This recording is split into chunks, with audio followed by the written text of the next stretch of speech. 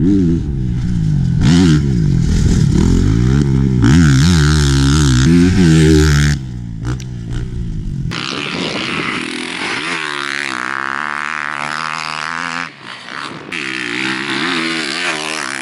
this is Rich Taylor with TransWorld Motocross. We're out here in July at Sunrise, Adelanto, California. Probably one of the hottest places on earth. It's actually not bad this morning. The track was badass, I gotta say. They disced it deep, they watered it. Um, so, you know, we had a, we actually had a bitchin' track to ride all day. 2018 CRF 450. Um, last year in our shootout, maybe didn't have the best result, although personally I rode the bike last year and, and, and liked it quite a bit. I thought they did a pretty good job with it. It was all new last year.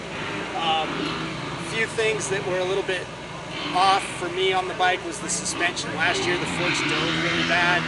The shock would ride into the stroke quite a bit. Um, this year they kind of fixed all that. They went to some different hangers uh, for the frame, a little bit softer maybe to kind of make the frame a little bit more forgiving.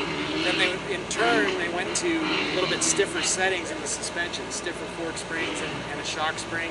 And then, you know, the, the, the hangers in the frame made it a little bit more forgiving so they could, they could go that direction.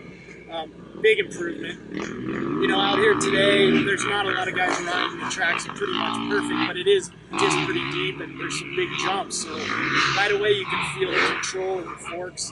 Um, personally, I went in a, a, click on the forks. Actually, I went in two clicks of compression and a click of rebound. I also went in a click of rebound on the shock just to kind of settle the whole bike down. Uh, and it worked really, really well.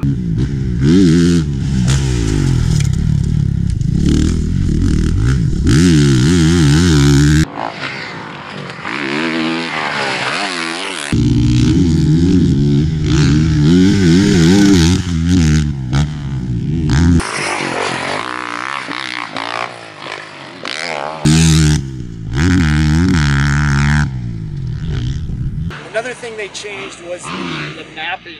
There's three different maps with this bike. Uh, kind of a standard map, a mellow map, and then more of an aggressive map. Uh, I thought I would like the aggressive map the best. That's number three, but I actually really liked number one, which is kind of their standard map. Um, has a nice broad power. One thing I really like about this bike is the, the connection from the throttle to the rear wheel um, slippery corners, smooth corners. You can really just kind of roll the power on, and that big hit that it had last year has kind of been filled in this year with the new map setup that they have. Um, it's just very connected and just it's just right there, so you can kind of cruise and, and accelerate and know know exactly what the motor's going to do.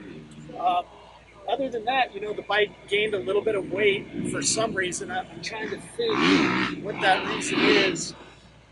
Oh, it's missing a Kickstarter. Wow. Electric start. Come on, guys. Electric start. Japanese motorcycle companies, it's been how long? Electric start.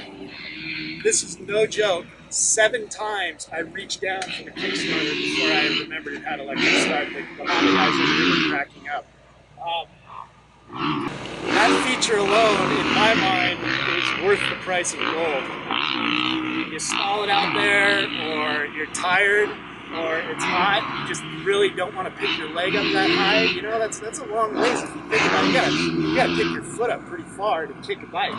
Like you just you just touch this little button right here. It's like done.